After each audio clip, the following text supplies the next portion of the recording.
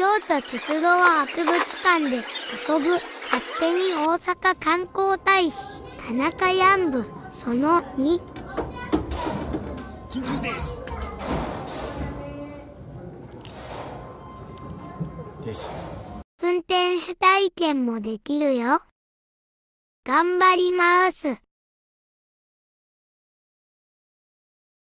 真剣な眼差し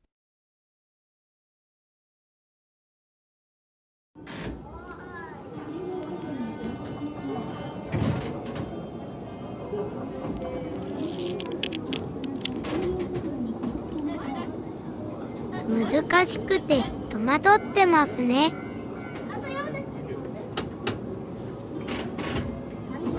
遅かったり早すぎたり。難しい。今度は。あやばい